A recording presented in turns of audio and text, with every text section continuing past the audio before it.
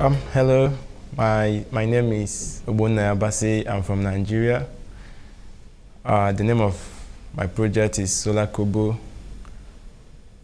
Uh, with our idea at Solar Kobo, we, we won the single board challenge organized by Intel.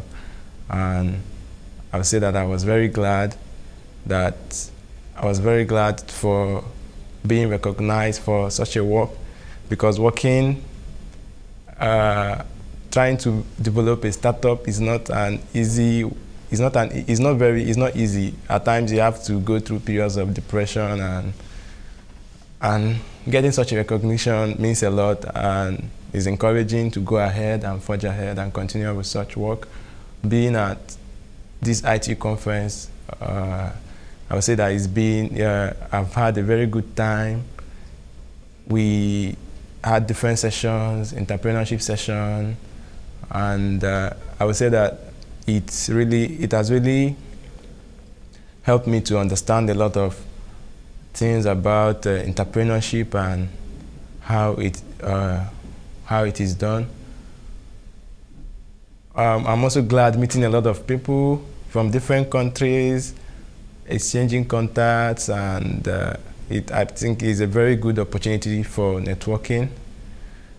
And I want to thank the entire ITU crew for such an idea of bringing together young innovators from different places and uh, mentoring them and also giving them the necessary support they have to move ahead.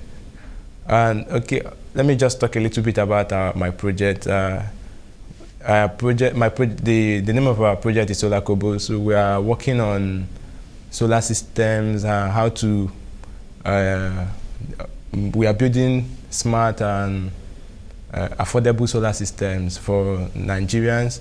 And uh, one of the problems that, that we're going to encounter is, uh, okay, one of the issues that we have is a lot of people in Nigeria cannot afford the, the, the cost of installing a solar system. So we are bringing, we brought up and we have an idea of maybe installing it for them at zero upfront and the, the, our customers will now pay us monthly on a monthly basis.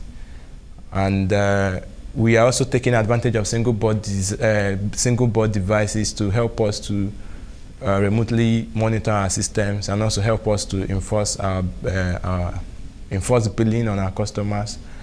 And uh, I'm so glad that uh, after several months of trying to put this together and trying to work hard on it, that uh, ITU and Intel finally gave us some encouragement. Thank you.